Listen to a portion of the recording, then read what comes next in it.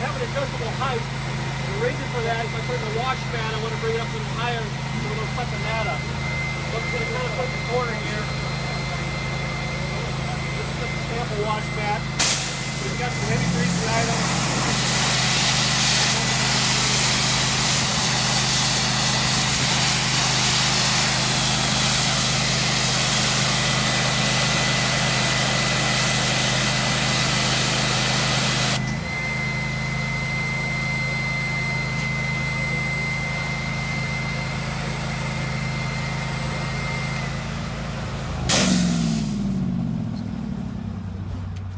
It's a pretty clean application here. I don't have a lot of dirt and oil and grease, but it's mainly for light oils.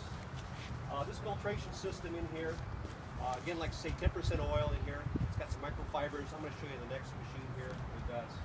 But uh, as you saw it pumping out there, I can also turn the valve so it comes back to the water tank for water. We can also do this trailer where we have two, say, two 30 gallon tanks, where I can have one for gray water and I can have one for clean water rinse. And I just turn a valve, we can go to clean water rinse. Right now, with the single tank, I set the trailer up with a 3-way ball valve, of course it's on the flow tank, where I can connect a garden hose to it for my fresh water rinse. And I use my gray water for the wash. Any questions that's on that? big.